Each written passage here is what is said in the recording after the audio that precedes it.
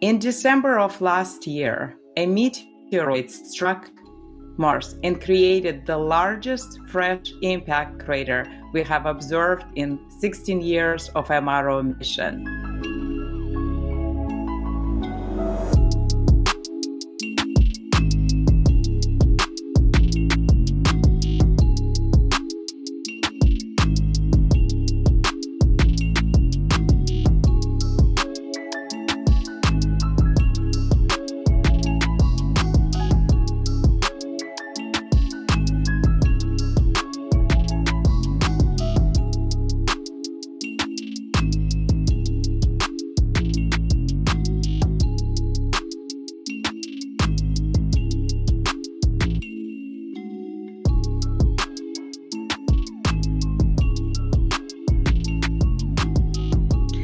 Most exciting of all, we saw clearly in the high resolution images that a whole lot of water ice had been exposed by this impact.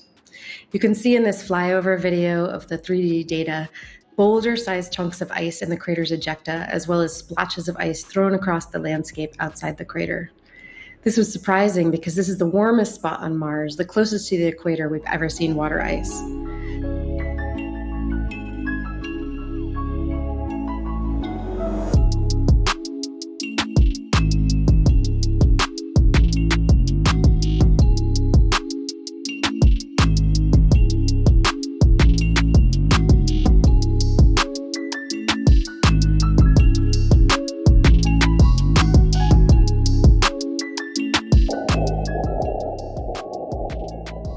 Thank you.